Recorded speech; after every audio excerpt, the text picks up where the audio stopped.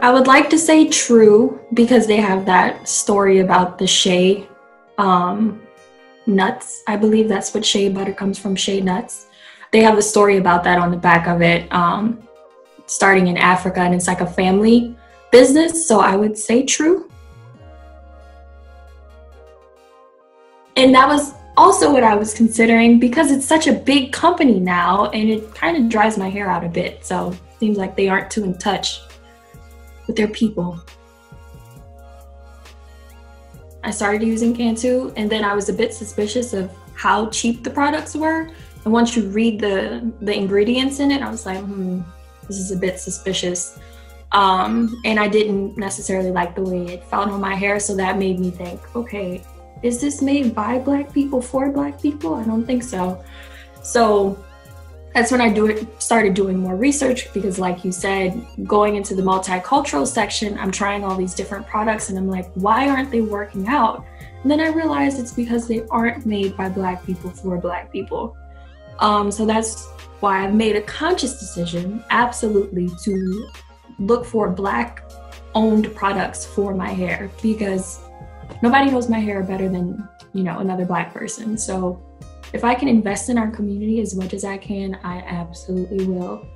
Two new products that I recently got are Nature's Blessings by Mama Sunshine, as well as her Mama's Coconut Water. So these two products are local here in California from Inglewood, California. Mama Sunshine is a natural hair um, hairstylist as well, as well as product creator. And these are amazing products. When you're looking at the ingredient ingredients, you can pronounce every single one and you can identify every single one. This one I use when my hair is in a protective style, such as braids or twists. I apply this to my scalp to keep it nice and moisturized, and it moisturized, and it also keeps um, my hair super shiny and moisturized as well perfect for nighttime use or daytime if you want to refresh your scalp. Currently, I like Melanin Hair Care. It's by the YouTuber Naptural85. The leave-in conditioner detangles my hair really, really well. The twisting cream is great for like when you're doing protective styles. So like I do a lot of twist outs and braid outs. So it helps keep my hair moisturized. And the oil is perfect for when your hair is dry like sandpaper. I haven't really found any shampoo and conditioners that I like. Um, but I have started using Briogeo, which is also black owned. Um, I use their scalp revitalizing scalp shampoo and conditioner little kit thing. One thing I would say is try to stay away from the coconut oil. It will weigh your hair down because it is so heavy. But light oils like avocado and pumpkin and uh, grapeseed, those type of oils are like perfect and it's a perfect balance. When I started my natural hair journey, I kind of just used products that a whole bunch of people raved about, which was mainly Cantu and Shea Moisture.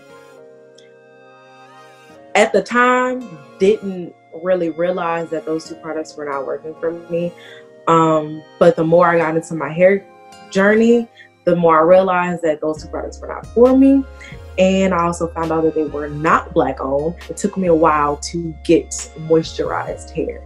It took a lot of fails. Every black owned company is not good for your black hair. Some people just slap their name on stuff and say they, they did it. I would definitely say doing my research by looking at multiple YouTube videos of different reviews and not famous reviews, not famous YouTubers, regular YouTubers that are low level that's not going that's not getting sponsored for these videos. Natural hair has just started to become a huge thing. Partially why I went natural, partially not why I went natural, but it's becoming a huge thing.